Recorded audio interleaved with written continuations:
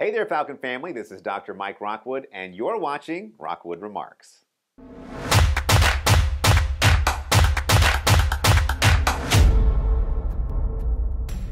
First up, I wanted to make sure that everyone was aware of our strategic planning process. If you go to our website, ldisd.net, you'll see lots of information about strategic planning surveys, committee meetings, timelines, and information. The bottom line is, is that we want to hear from you over the next two, three, and five years. We have a lot of things happening in Lake Dallas ISD, and we want you to be a part of it. I also wanted to pause and congratulate our girls soccer team on their playoff push. They had a great season and represented Lake Dallas ISD so well. Congratulations to the team on a great season, but remember, there's still plenty of action this spring semester, whether it's golf, track, softball, baseball, and many other activities. Please remember to go out and support our Falcons.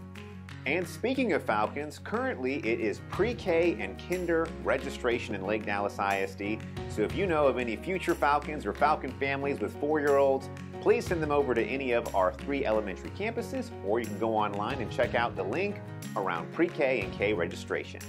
And finally, you might have noticed some differences around LDHS. If you look at the front of our high school, we have some new paneling up. Things are just wrapping up with our 2019 bond project. Also, just around the corner, you'll see our multi-purpose indoor facility actually has a classroom inside of it. It's coming together nicely, not to mention a brand new library space for our high school students and an exterior wall is finishing up at Corinth Elementary. A lot of great things happening with our 2019 bond, and we're wrapping those all up this semester. Well, that's it for this month's Rockwood Remarks. Remember, in Lake Dallas ISD, we always put our Falcons first.